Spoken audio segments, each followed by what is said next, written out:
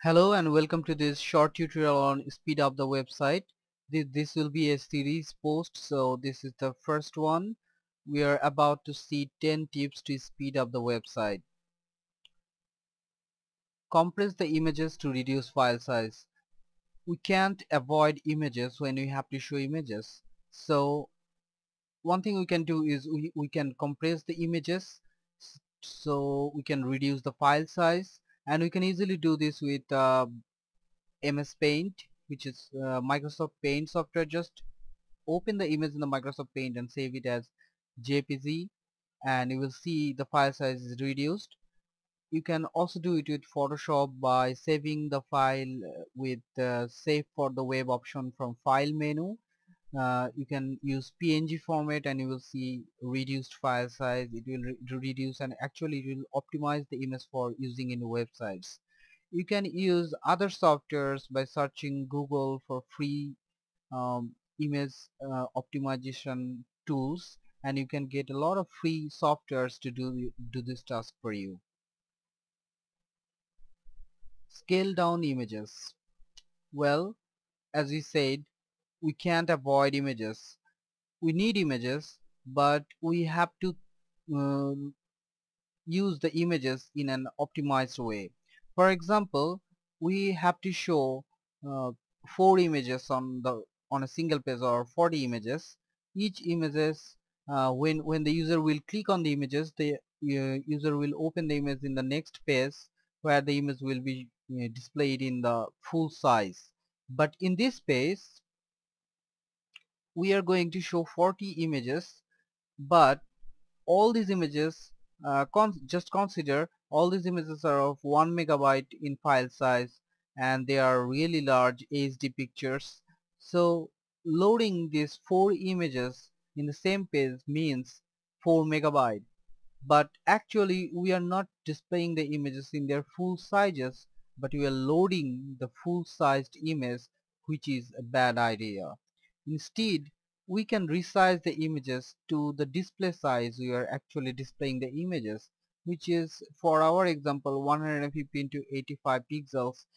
So if we reduce these files on the left to this size on the right we reduce one one 1 megabyte to 40 kilobyte. That means 1024 kilobyte to 40 kilobyte.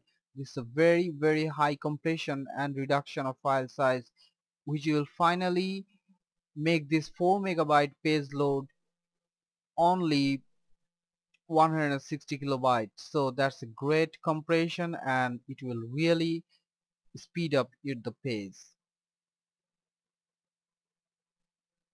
minify css and js files we in this modern javascript css based website we really can't avoid lot of those CSS and JS files we use in our websites.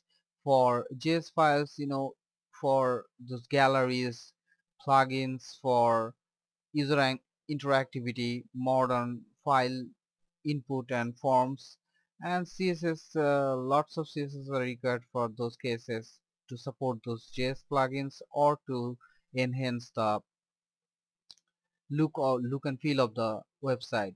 But look at this sample JS file. It contains 65,710 lines. It's a huge file which is a text file of 2.1 megabytes. So if we just uh, if we want to explore we can find these kinds of file which are so large in size 2.1 megabyte of JS file but if we minify this JS file consider we can't avoid this JS file. This JS file contains a lot of code, every single thing which are required and obviously these are required because these are from my sample project. So but if we minify these JS files you see it, it's been reduced to more than 50% it's now 8, 883 kilobyte only and it's just a one line of code okay how you can minify or your JS and CSS files. You can use uh, various online tools. Just search for minify JS and minify CSS you will get one click tools to do these things for you. Combine CSS files and JS files. If you are having a lot mm, number of CSS and JS files like 15 CSS file 30 JS files this can happen I understand but when you are actually in development period you can use this 15 CSS and 30 JS files. But if you just can't get rid of these files you can't list down the number then in the production when you'll be uh, in the live mode just try to combine all those 15 CSS files into one single CSS file and 30 JS files in one single JS file that will cause only two HTTP requests and fewer HTTP requests means faster loading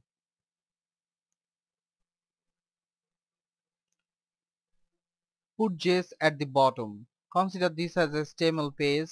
You have the head and the body section. Put your JS files at the bottom of the body. This actually, uh, how this works is when the browser is loading the page, it will start rendering from the top to the bottom. So if you have some JavaScript files at the top, right up, right on the head or in the head sec section, then what will happen is the browser will start loading those JS files and wait for those JS files to load and then it will render rest of the body so this will cause uh, slower loading speed. But if you put those JS files at the bottom of the page the page will be rendered first and then the JS files will be loaded and the interactivity will be produced. Put CSS at the top. When you are loading CSS try to load them at the head section.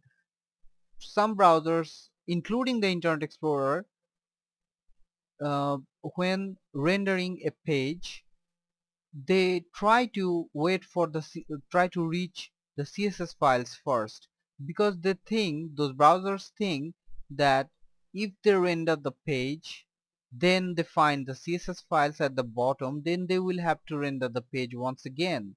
So they better try to find the CSS files first and then after the CSS files are loaded they render the page so instead of putting the CSS files at the bottom and letting the browser doing the thing once again twice put your CSS file at the top in the head section the browser will find the CSS files then it will load it and then it will start direct rendering of the rest of the page.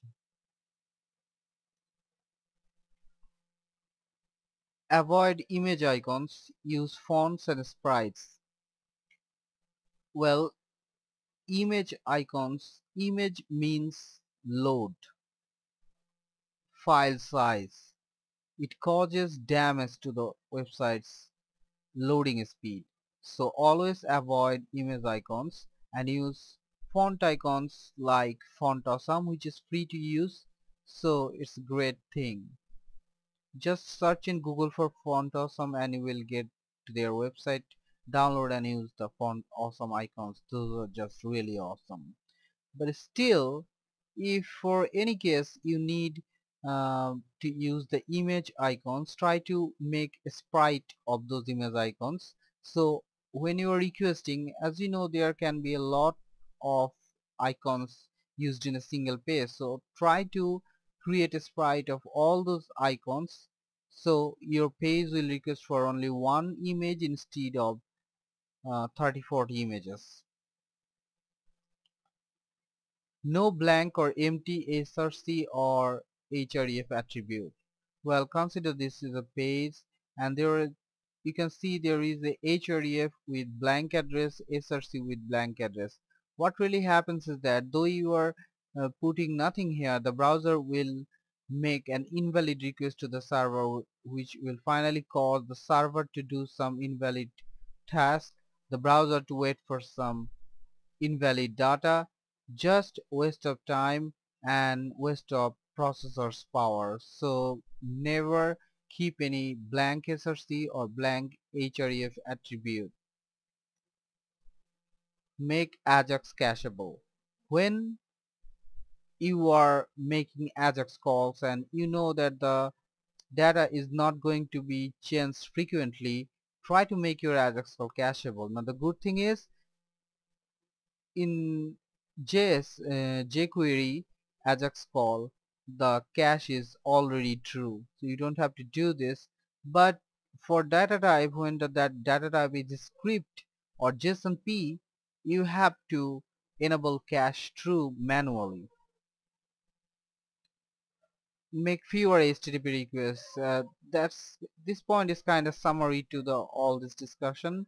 The thing is here we are loading 6 CSS files 6 images and 6 JS files. That's a bad idea.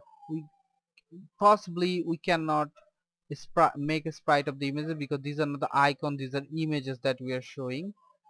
But we can actually combine and minify minify and combine those CSS files into one file and also minify those JS files six JS files and then combine them into one file.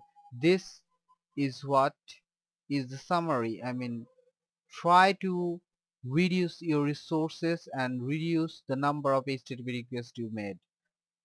Whenever you are creating a website try to keep things light as much as possible. But we also know that we cannot try to reduce an image file size to a point where the image becomes uh, bad to look at. We will not do that. We will try to reduce the image size as less as possible as much as possible and uh, we will try to combine the CSS file JS files and we'll also try to modify minify the JS and CSS files so that the, their size uh, is also reduced thank you for watching the video and subscribe to our channel. If you like it just like and share the video. Thank you very much.